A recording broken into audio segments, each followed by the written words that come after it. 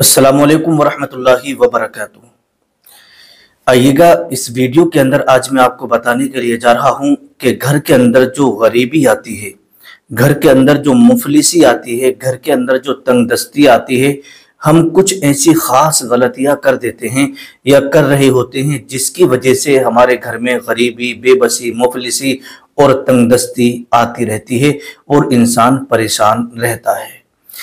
ये पंद्रह काम आपको कभी भी भूल कर नहीं करना है। इन पंद्रह कामों की वजह से इंसान मुफलिस और गरीब और लाचार हो जाता है, मोहताज हो जाता है। क्योंकि बहुत सारे लोगों को ये इल्म नहीं होता है, उन्हें ये जानकारी नहीं होती है। अगर वो ये गलती कर रहे हैं तो करते ही रहते उन्हें पता नहीं होता है। तो जिसकी वजह से घर के अंदर से गरीबी और मुफलिसी जाने का नाम ही नहीं लेती है, बल्कि और ज़्यादा तंगदस्ती आती चली जाती है। अब आइएगा, वो पंद्रह चीज़ें, पंद्रह काम कौन कौन से हैं जो आपको नहीं करना है? ठीक है, अब आइएगा, नंबर एक,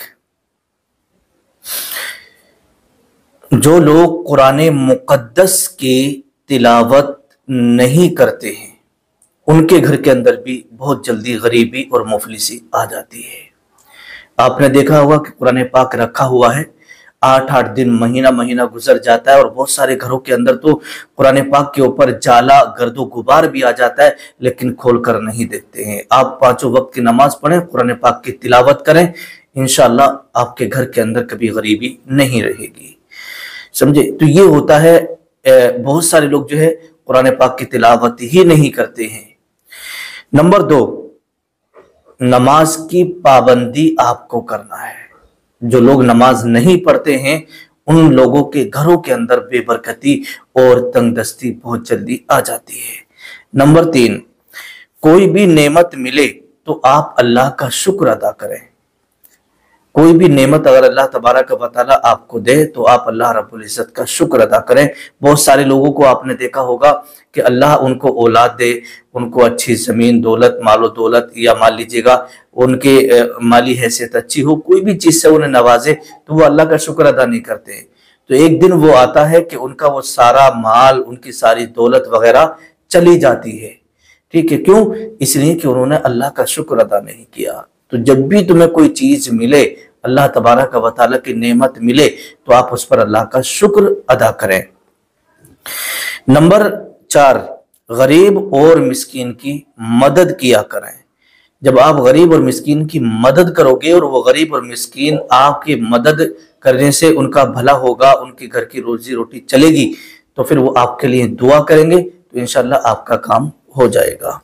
नंबर पाँच गुनाह हो जाए तो अल्लाह की बारगाह में दुआ मांगे, रो रो कर और अल्लाह की बारगाह में तोबा करें। क्योंकि तोबा का दरवाज़ा खुला है और अल्लाह तबारा का बतारा दुआओं को कबूल फरमाने वाला है। नंबर छह, माँ बाप के साथ और रिश्तेदारों के साथ हसन सलूक करें। जो लोग माँ बाप को सताते हैं, रिश्तेदारों के साथ हुसन सलूक नहीं करते हैं माँ बाप की खिदमत नहीं करते माँ बाप की फर्मा बरदारी नहीं करते तो ऐसे लोगों के घरों के अंदर बहुत जल्दी तंगदस्ती, गरीबी और मुफलिसी आ जाती है। नंबर सात, खाने के बर्तन झूठे ना छोड़ें।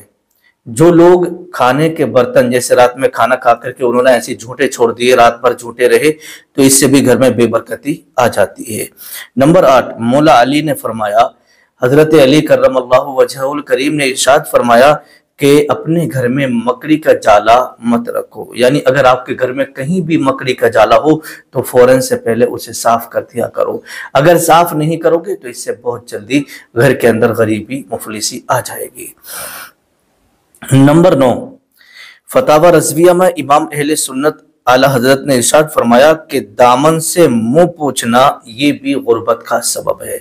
बहुत सारे लोगों को आपने देखा होगा, जब उन्होंने चेहरा वगैरह धुला तो अपना दामन लिया और दामन से मुँह पूछ लेते हैं चाहे वो शर्ट का दामन हो या कुर्ते का दामन हो। एकदम इस तरीके से मुँह पूछ के बस हो गया साफ़। तो जो लोग अपने दामन से मुँह पूछते हैं तो प्लीज़ आज के बाद में मत पूछिएगा। इससे भी घर के अंदर तंग दस्ती, मुफलिसी और गरीबी आ जाती है।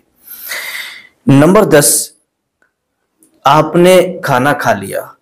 खाना बचाकर जाय करने से भी बेबरकती आती है। जैसे मान लीजिएगा आपने खाना खाया और कुछ खाना बच गया तो फेंक देते हैं बहुत सारे लोग।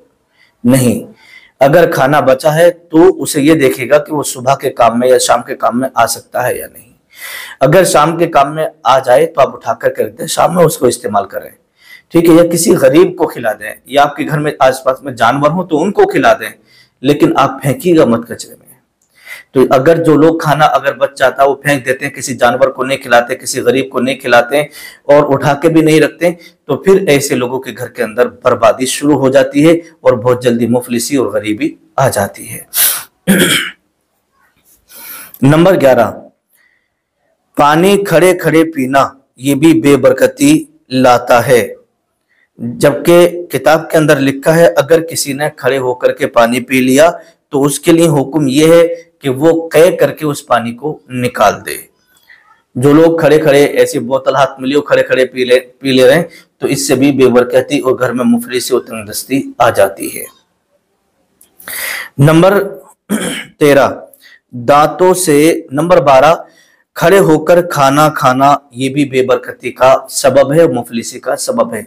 आपने देखा होगा कि बहुत सारे जब लोग शादी करते हैं ना तो वो स्टैंडिंग खाना करते हैं, है ना? स्टैंडिंग खाना करते हैं, आपने देखा होगा सामान रख देते हैं और लोग चल फिर करके खा रहे होते हैं। मैं गैर मुस्लिमों की बात नहीं कर रहा हूँ, ये मुसलमानों में भी चल रहा है, ठीक है? तो जो लोग खड़े होकर के खाते हैं तो इससे भी घर के अंदर बेबरकती और गरीबी बहुत जल्दी आ जाती है। तो खड़े होकर खाना, पीना ये हुजूर सल्लल्लाहु अलैहि वसल्लम ने मना किया है। ठीक है, नंबर तेरह, दांतों से नाखून काटना। दांतों से नाखून काटना, ये पहली बात तो मकरू है। इस तरीके से बहुत सारे लोग ऐसे करके दांतों से नाखून काटते रहते हैं तो ये पहली बात तो मकरू है। और दूसरी बात ये कि इससे बरस का मरज लगने का अंदेशा है, यानी कबरेपन का मरज यानी हाथ पैरों पर सफ़ेद दाग होने की बीमारी लगने का अंदेशा होता है। और जो लोग नाखून जो है मुँह से, दांतों से काटते रहते हैं ना तो इससे घर के अंदर बहुत जल्दी बेबरकती और मुफलिसी और गरीबी आने लगती है। नंबर चौदह, कब्रिस्तान में हंसना। बहुत सारे लोग जब जनाजे में जाते हैं और मैयत को दफन किया जा रहा होता है तो बैठ के इधर उधर की बातें इलेक्शन की बातें, दुनिया भर की बातें करते रहते हैं और वहीं पर हँसी छिट्टा उनका चलता रहता है, हँसते रहते हैं। तो कब्रिस्तान में हंसने से भी ये मुफलिसी और गरीबी बहुत जल्दी आ जाती है। नंबर पंद्रह, सुबह सूरज निकलने तक सोते रहना। सुबह सूरज निकलने तक सोते रहने से भी घर के अंदर बहुत जल्दी मुफलिसी, गरीबी और बेबरकती आ जाती है। क्यों?